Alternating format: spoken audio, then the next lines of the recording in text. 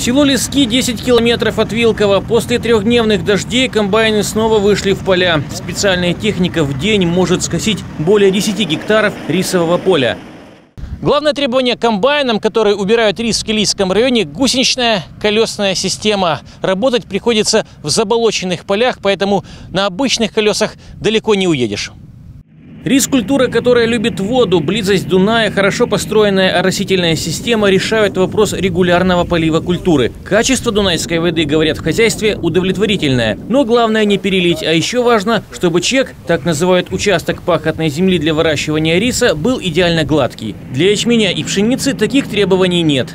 Мы сейчас находимся на основном подающем канале. Он находится выше всех чеков. Насосная качает в него воду, он наполняется водой, с него поддается вспомогательные каналы, и со вспомогательных уже подается вода в чеки.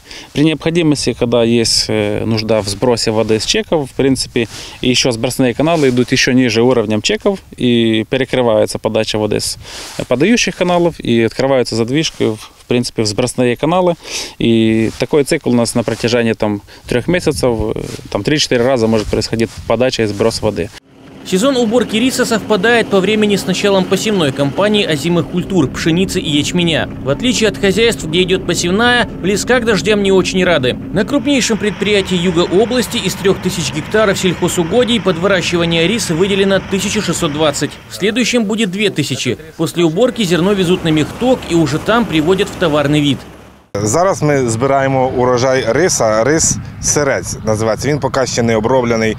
Е, Далі після поля через комбайн він йде на ток. На току його очищують, доводять до е, потрібної вологості і далі він поступає до нас на завод. На заводі ми його обрушуємо, е, шліфуємо, поліруємо і відбираємо січку, мучку і готовий рис. І той готовий рис, який найкращий, ви бачите на полицях магазинів. Привычный нам белый рис – это 70-80% от того, что осталось в результате переработки осеннего урожая. На предприятии задумываются о том, куда девать рисовые отходы. Шелуху можно использовать, подмешивать его для топливных брикетов. Э, и остается сечка и мучка, там тоже сечка идет по другой цене, она намного ниже, чем рис.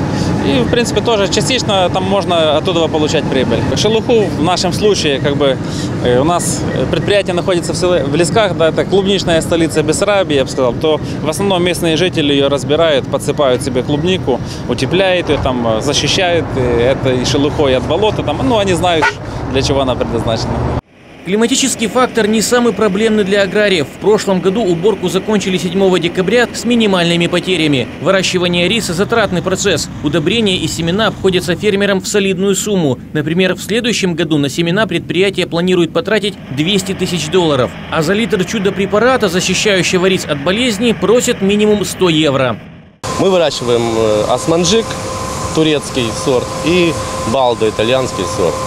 Это сорта, в принципе, премиум класса. Мы вышли на уровень иностранных сортов и под них уже подстраиваем свою технологию.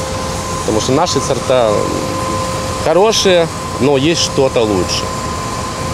И мы стремимся к лучшему.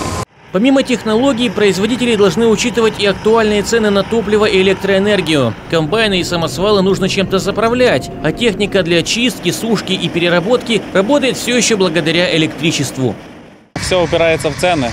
Цены на топливо. Сегодня там топливо подскочило буквально, если еще там пару месяцев назад была цена 17,50 мы покупали, то сегодня мы берем по 23,10, 23,50 за литр. Да? А топливо уходит, конечно, тоннами на уборку.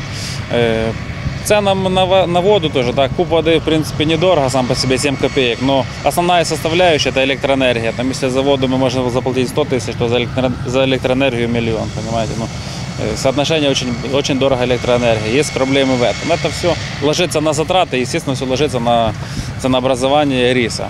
Через несколько дней в Лесках снова заработает завод по переработке риса. Компания-производитель продает товар пока что только оптом по цене 18 гривен за килограмм. Рынок сбыта – вся Украина. Дорога, открытая весной президентом Украины в направлении Вилкова – несомненное удобство для фирм-покупателей. Осталось еще привести в порядок 7 километров непроходимого бездорожья в сторону Лесков. И тогда килийские производители будут чувствовать себя увереннее своих херсонских коллег-конкурентов. Виталий Хемий, Григорий Евич, телеканал «Репортер».